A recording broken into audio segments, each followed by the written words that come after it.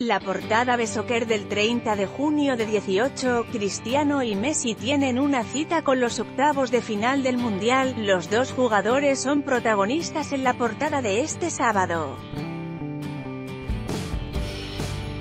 Llegó el momento que todos estábamos esperando.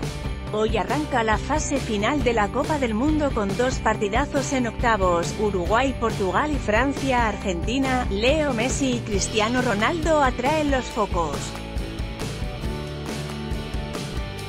Llegó el día de la cabra. ¿Serán decisivos para el futuro de su selección en Rusia?